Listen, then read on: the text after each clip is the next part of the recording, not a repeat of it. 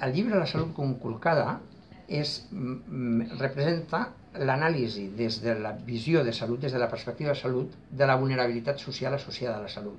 Per tant, el llibre comença presentant què vol dir, què entenem per vulnerabilitat i a partir d'aquí descobrir que en la vulnerabilitat associada a la salut tenim dos realitats ben diferents. Aquella vulnerabilitat que naixeria des de la qüestionament de drets relacionats amb la salut i, per tant, aquí trobaríem alguns col·lectius vulnerables, com per exemple el col·lectiu de les persones en situació de sense llar, on el, la conculcació del dret a l'habitatge fa que aquestes persones aboquin a situacions de trastorns crònics, trastorns mentals, addiccions, diversos problemes eh, eh, sobre la seva salut.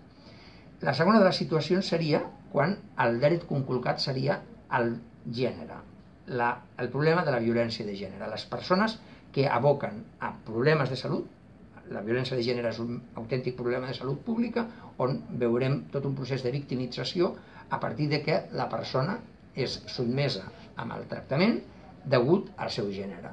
És tot un segon capítol que vindria, repetim, de la conculcació de drets, en aquest cas el, el, el tema del gènere. I la tercera de les realitats que aborda aquí és el tema del dret a l'atenció de la salut que es produeix sobretot en la població nouvinguda, en els immigrants, que molt sovint veuen conculcat els seus drets de l'atenció en salut. Bé, perquè, perquè el sistema no el reconegui, malauradament en el nostre eh, entorn Eh, vam tenir una fase en la qual els, la població immigrant tenia problemes realment per atensar-se a la situació sanitària, però altres vegades, sense que ser necessàriament així, el sistema sanitari no està preparat perquè aquesta persona que té eh, persones que tenen dificultat de conciliar feina i família eh, puguin atensar-se en condicions d'igualtat al sistema.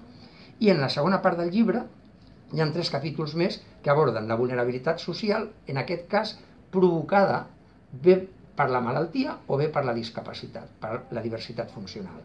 Eh, per la malaltia seria la realitat de les malalties mentals, és a dir, que la malaltia mental genera tota una vulnerabilitat específica que deriva del trastorn mental. I alhora tindríem també la drogodependència. Les addiccions, les persones abocades a un, un trastorn addictiu, això genera totes unes conseqüències en salut. Per tant, aquí veiem un procés d'anàlisi diferent. Abans era la conculcació d'un dret que tenia unes conseqüències en salut, aquí veiem que és la malaltia per un costat o bé el tema de la discapacitat i per tant la diversitat funcional, el que representa de problemes o vulnerabilitat en salut per totes aquestes persones.